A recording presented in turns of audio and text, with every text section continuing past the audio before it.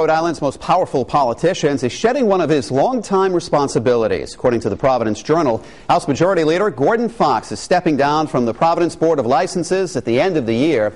He was first appointed to the board by Mayor Vincent Buddy Cianci back in 2001. Fox is a candidate to become Rhode Island's next Speaker of the House. Still ahead.